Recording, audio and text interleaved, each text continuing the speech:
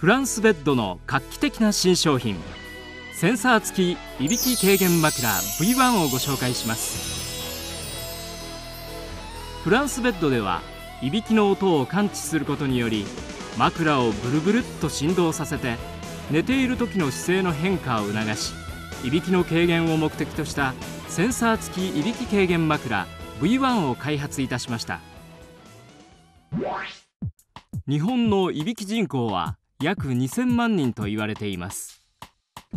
家族や一緒に旅行に行った人から昨日のいびきがうるさくて眠れなかったとか言われたことがありませんか？自分で気づかなくても隣で寝ている人には迷惑この上ないいびき。他の人の睡眠を妨げるだけでなく自分自身の疲れもたまります。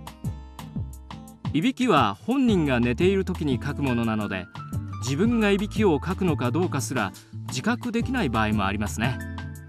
あなたの周りにもいびきの音で悩んでいる人は多いのではないでしょうか。そもそもいびきはなぜかくのでしょうか。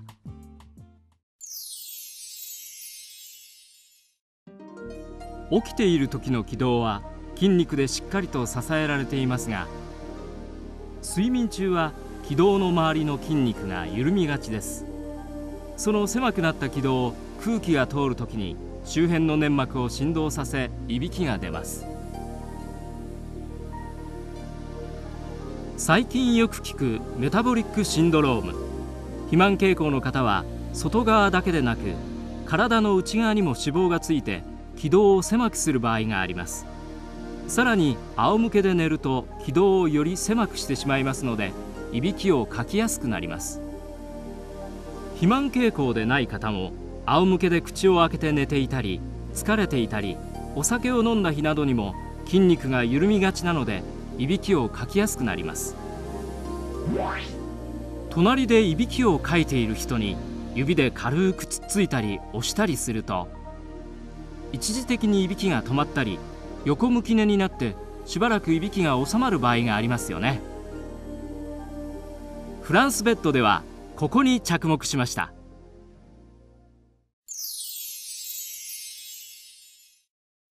枕に内蔵されたマイクからセンサーがいびきの音を3回検知すると振動子が振動します。振動は最初は弱くそれでもいびきが止まらない場合は自動的にさらに強くなります。